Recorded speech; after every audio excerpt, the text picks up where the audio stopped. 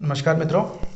मित्रों ये टाइगर जाय स्टोन आता है एक उसकी ये देखिए माला है और कुछ आ, हमारे सब्सक्राइबर्स का जो कि जुड़े हैं ऑलरेडी हमारे से उनका इनकी रिक्वेस्ट आई थी कि एक टाइगर जाई माला के ऊपर मैं वीडियो बना के दिखाऊँ उन्हें। ये देखिए टाइगर जाई माला होती है और ये धारण करने से कोई भी नेगेटिव एनर्जी किसी भी तरीके की नकारात्मक ऊर्जा आपसे दूर रहती है।